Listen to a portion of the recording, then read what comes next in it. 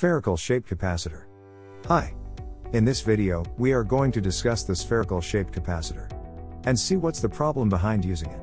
As we have discussed in earlier videos, the capacitance does not depend on the charge and voltage, but the dimension and medium of the capacitor. Let's say we have a sphere with a radius r. Now we also know that whatever charge we give to this sphere, it will reside only on the surface. Let's say we give it a charge, q. Now, according to the formula, capacitance is equal to charge by voltage. C is equal to q by v.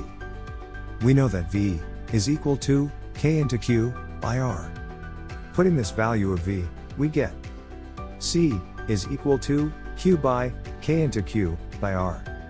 q cancels each other, and we get c is equal to r by k.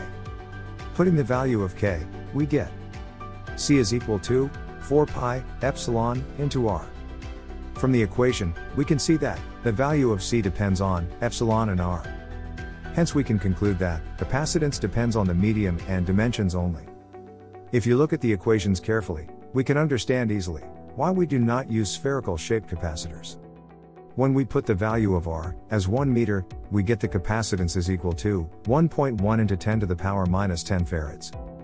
Meaning, a spherical shaped capacitor has a capacity of this only. It takes more space, and the charge we can store in it is very less. Hence, we do not use spherical shaped capacitors.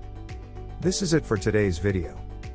Before leaving, check the exclusive offers, link in the description below. And do not forget to hit the like and subscribe button. To find out more on the subject, continue watching the next video.